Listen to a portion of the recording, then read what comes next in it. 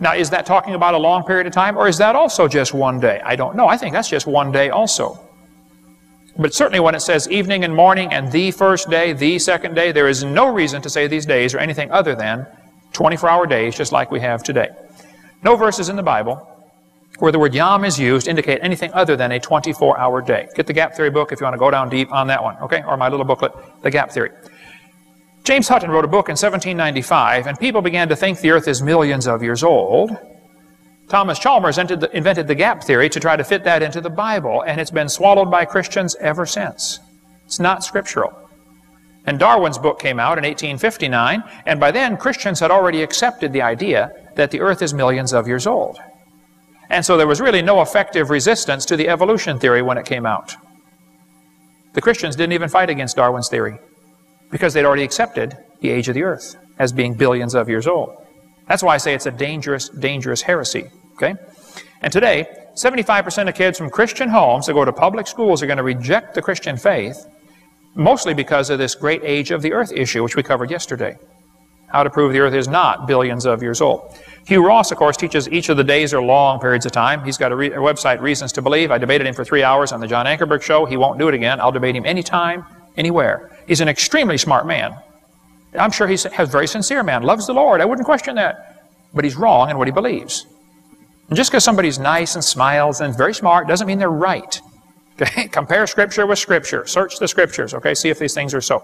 So, Genesis chapter 1 says, Let there be a firmament in the midst of the waters, and let it divide the waters from the waters. Well, what is a firmament? Some people say it must be the dirt, you know, because the dirt keeps the water away from the water. No, it's not the dirt. Read down, verse number 20, and it says, The fowls, that's the birds, fly above the earth in the open firmament of heaven. The birds fly in the firmament. The birds do not fly in the dirt.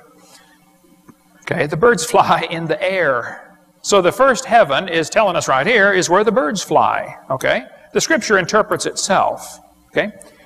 Second heaven is where the sun, moon, and stars are. God said, Let there be lights in the firmament. Talks about the sun, moon, and stars. That's the second heaven. The third heaven is only mentioned once in the Bible, right here, 2 Corinthians chapter 12. The Apostle Paul's telling the story about the time he got rocked to sleep. I mean, uh, stoned to death. And he said he was caught up to the third heaven. Three heavens mentioned in the Bible. First heaven where the birds fly, second heaven where the stars are, third heaven where God lives. We're going to go up there one of these days. We're going to hear a trumpet blast. Doo, doo, doo. Lutherans take off first, you know, dead in Christ rise first. And then we're going to take a bite off the Milky Way and end up going to the third heaven. Mm-hmm. They're going to be there soon. Okay. Psalm 19 talks about the heavens, plural, declare the glory of God. Heavens. Remember Genesis 1 1, it's heaven singular. Then he divides it up into three slices first heaven, second heaven, third heaven. Heavens declare the glory of God.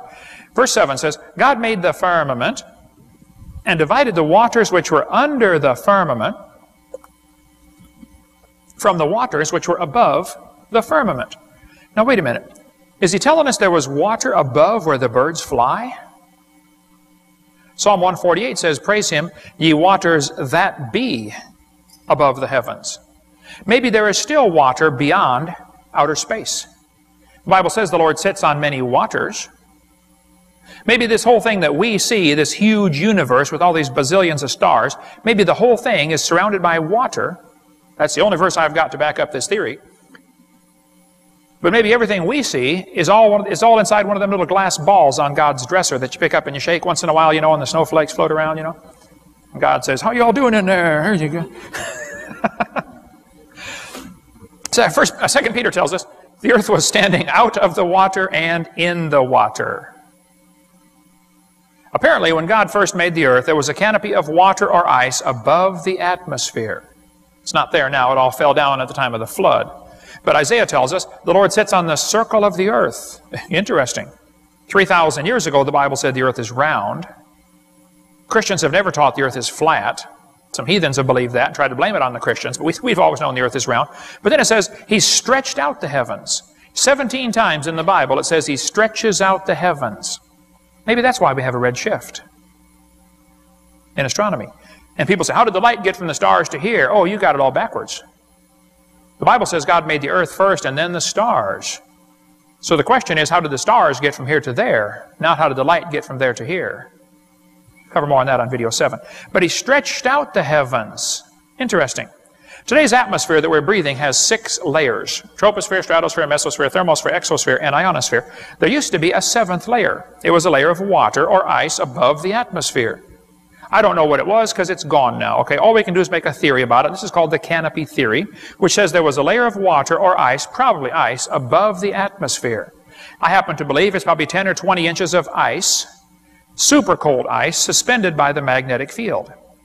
You know how a magnet can float on top of another magnet? It's called the Meissner effect. We cover more on that in video 6. But the Earth could have had a canopy of ice suspended in the magnetic field, which would float it above the Earth. This ice or water would block out UV light, some of it.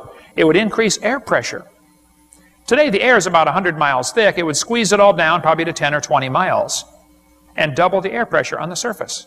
By the way, when the space shuttle blasts off and leaves all that exhaust behind, it's forming ice clouds and the ice clouds float to the North and South Pole and hover there about 50 miles above the Arctic. Ice clouds that are floating, they won't fall. Apparently stuck in the magnetic field, I don't know. But article about that here. Josephus wrote in his book that the Hebrews believed when God made the earth on the second day, he placed a crystalline firmament around it. A crystalline firmament. Probably super cold ice, okay? There was not only a canopy of water above the earth, there was water in the crust of the earth. Psalm 24 says, The earth is the Lord's. He founded it upon the seas and established it upon the floods. See, most of the water that's now in the oceans used to be in the crust of the earth. Psalm 136 says, He stretched out the earth above the waters. It's not the way it is today. I believe the original creation had a layer of water above, maybe 10 or 20 inches, who knows, of ice probably, and then a layer of air to breathe, probably 10 or 20 miles, I don't know, and then dirt and rocks to stand on, the crust of the earth, which we still have, but inside the crust of the earth, there was water.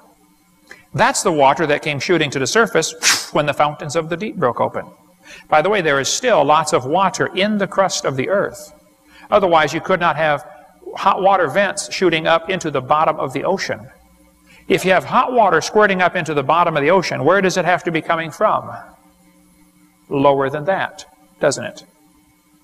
Still huge hot water vents in the bottom of the ocean. I think some of that water is still coming out. We cover more on that in the hydroplate theory on video 6. But I think the earth today still has cracks where it broke open at the time of the flood. I taught earth science for years. The earth is broken up into plates. There's no question. I've been to the San Andreas Fault, the Hayward Fault, the New Madrid Fault, the Golden Fault. None of them are my fault, but I've been there, okay? There's no question. There are cracks in the earth's crust. And when they move around, buildings fall down. It's called earthquakes, okay? Or tsunamis happen from the, from the underwater landslides and turbidity currents. There's no question the earth is broken up, and there's no question the plates are still moving. The question is, when did all this happen?